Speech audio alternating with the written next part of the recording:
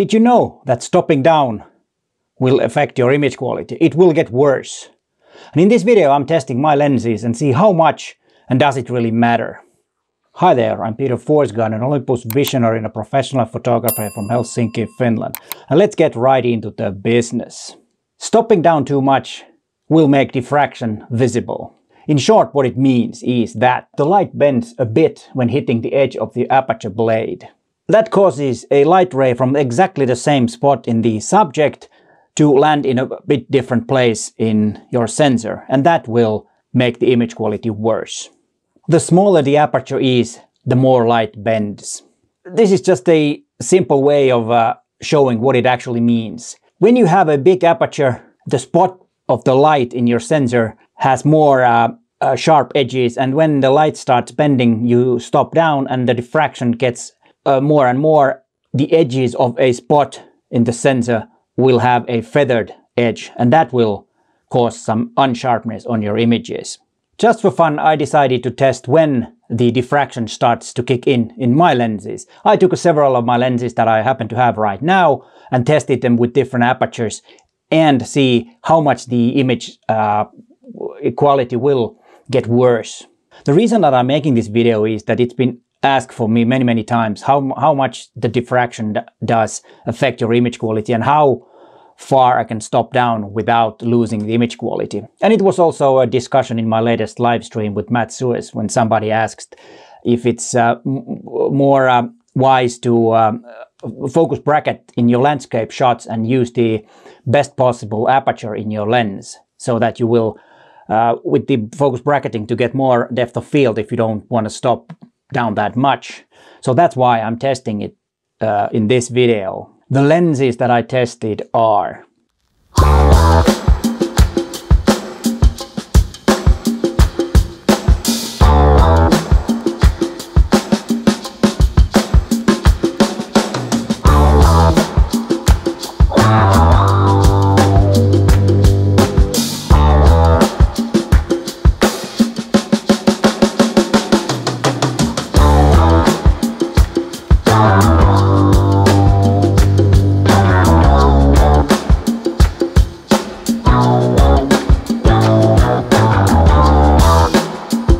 will mainly talk about the 12 to 40 mm f2.8 Pro Zoom lens, but I will show results with the other lenses too.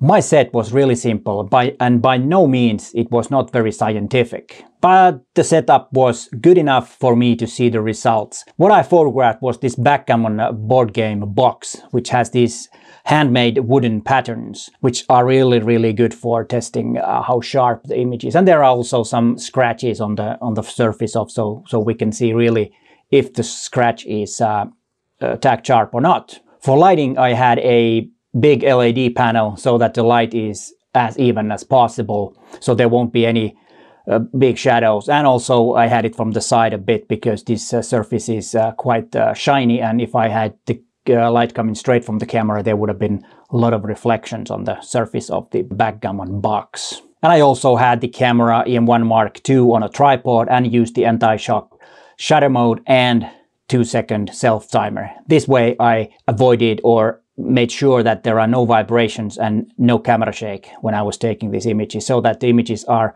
as sharp as possible. Let's start with the sharpness in general. All these lenses were at its best when stopped down two-thirds of a stop. And that was no surprise.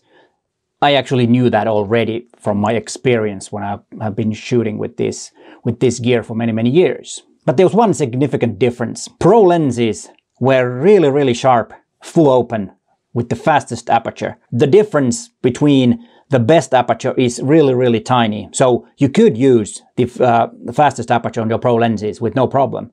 But with the M Zuiko lineup lenses, which are not the Pro versions, you need to stop that two-thirds of a stop to get the best results. The, the difference is a lot, lot bigger. So there is a small difference in that.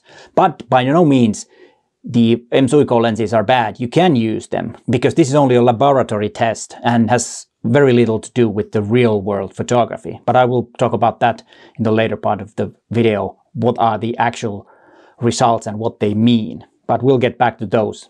But there was one exception. The 12mm f2.0 lens, which is not considered to be a pro lens, is actually a pro grade lens because you can use the f2.0 no problem at all. The difference between the sharpness of the fastest aperture and stopping down two thirds is as small as it is with the pro lenses. So that is actually a good lens. And the great thing is that it's one of the first, or not one of the first, but actually the first prime lens for micro four thirds world from Olympus. So they did a very good job about 10, 12, it's about 10 year old lens at least. Alright, but let's talk about when the diffraction starts to affect the image quality in the lenses that I tested in this situation that I tested them. As I said, my example is the 12 to 40 mm f2.8 lens, and I will use the 25 mm focal length as an example, as a main example. But as I said, I will show you pictures with the other lenses too. Well, in real life, diffraction starts to kick in as soon as you start stopping down. But it doesn't mean that you shouldn't be stopping down your lenses, of course not. But the first aperture that is really, really visible that it might be a concern is f16 and then f22.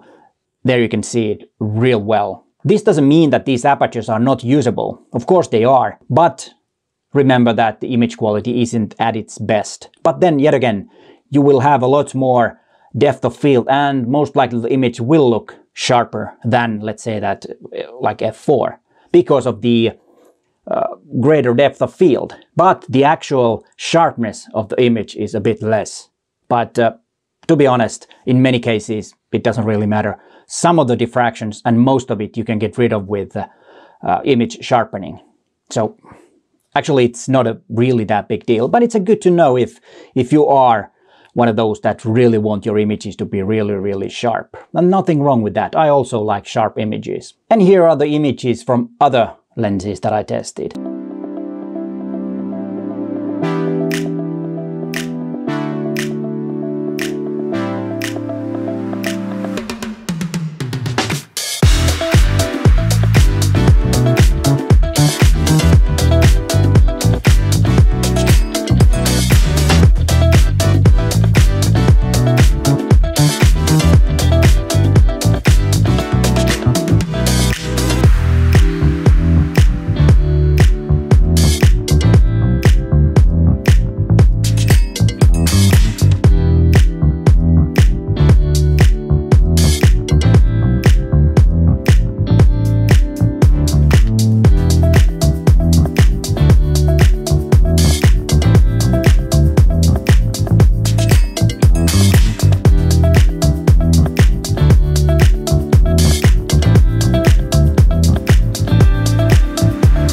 Alright, and then my conclusion.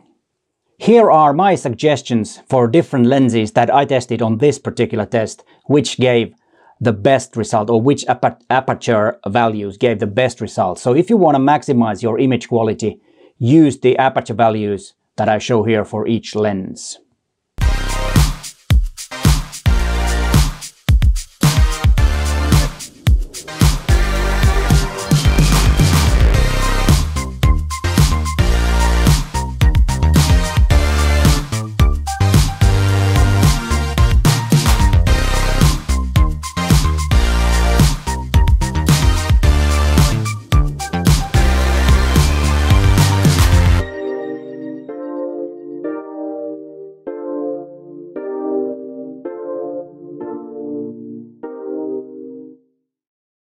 And then remember, sharpness is only one small part of photography.